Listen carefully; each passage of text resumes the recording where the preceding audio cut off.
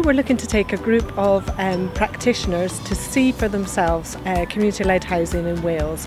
The reason we're doing that is because we know from past experience of running peer-to-peer -peer support programs that it's really when communities see for themselves what's happening in other areas they can take that learning back into their own communities and develop their own initiatives and projects and solutions.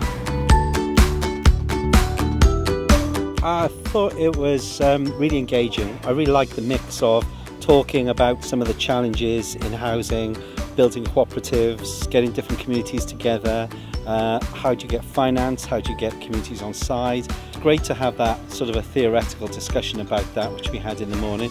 But I think there's nothing like actually going out there to actually see a project in the flesh, in the wild, if you like. Hi, my name's Luana. I'm, um, I'm one of the residents um, of Loftus Village Association. The whole site is 250 properties, but this particular street, Loftus Walk, we're all members of a housing cooperative that we've set up ourselves. As part of the cooperative, we have um, a shared space as well, which is at the moment a garage with a rear garden.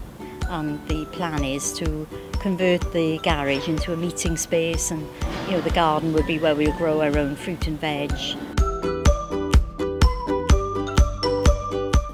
Cyfle, also known as House of Opportunities, um, is youth accommodation for young people between 16 and 25. The idea behind it is that young people wanted support around how to live independently. It was created by young people, it's completely youth led, is run by a management committee that is made up of our young people living in the property who are our tenants, people from the community, and our young people who have been involved in the whole process. Um, really the benefit is just all the support you get. Like when I first moved in, I didn't know how to ring people to set up like the gas and electric and water. Um, all of the courses and programs they got on you, it just opened my eyes up to a lot of new things. I like it a lot.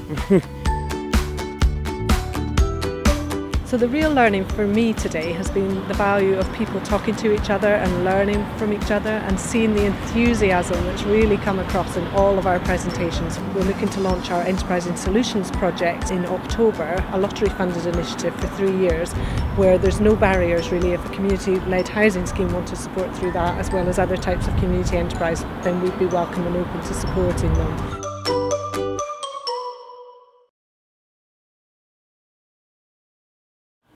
Sow a thought and you reap an action. Sow an act and you reap a habit. Sow a habit and you reap a character. Sow a character and you reap a destiny.